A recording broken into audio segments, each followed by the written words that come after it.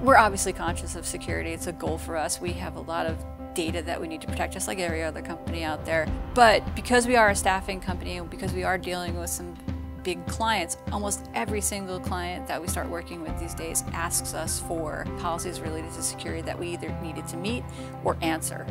Security is the name of the game right now when it comes to tech. One of the great ways that we really have addressed security is if we need to lock down a machine because it was stolen or there's concerns over the machine in general, the JSS allows us to simply, you know, click that button, set up a code, and lock that machine down. We don't have to worry about our data being obtained in any way, shape, or form.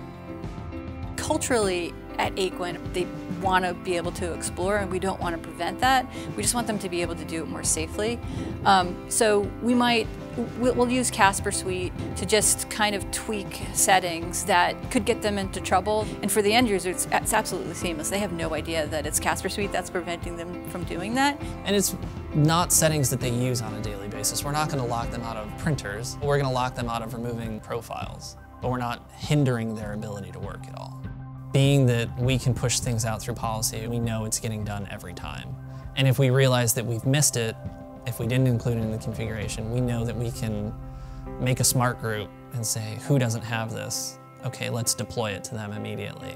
There's an easy way to do checks and balances and a quick way to get it deployed. We have great confidence that Casper Suite is going to be able to allow us to meet our, our security needs and, and goals.